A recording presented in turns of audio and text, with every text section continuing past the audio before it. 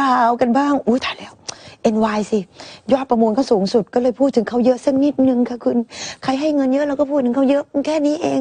คือจำได้ไหมที่นเดชน์เขาใส่ชุดอะใส่เสื้อ แล้วก็มีปักอะ มีปากเป็นชื่อยายาอุรัสยาบราบราอะไรอย่างเงี้ยนะ อ้าวคุณนะให้ดูอีกที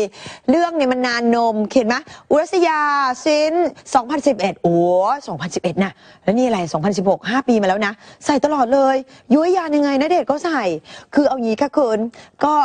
คราวนี้ก็เจอตัวไง เจอตัวก็ต้องเจอมะอ่า เล่นรับสลับร่างทั้งคู่เลยได้แล้วยาย่าทำผมเป็นทองม้วนเลยยาย่าเฉลยว่าเสื้อเนี้ยปักให้พี่ณเดชน์เองค่ะ ปักให้นานแล้วค่ะ แต่บอกว่าให้พี่ณเดชน์อะใส่ที่บ้านใส่ที่บ้าน ไม่คิดว่าพี่ณเดชน์อะจะเอามาใส่นอกบ้านอื้อหื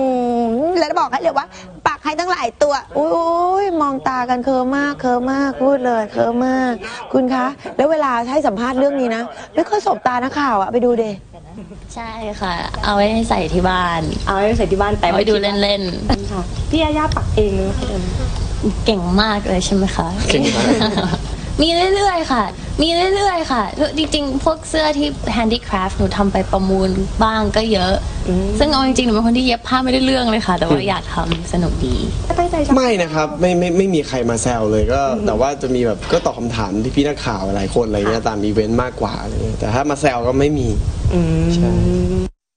เอ้ยเอ้ยมองกันคนละทิศคนละทางมองกันมองกัน สบายใจเขาปักเสื้อให้กันโอเคนะ นี่ขนาดเราไม่ไปโรงเรียนนะ ยังมีคนปักเสื้อให้เลยน่ารักได้ดู สวัสดีค่ะ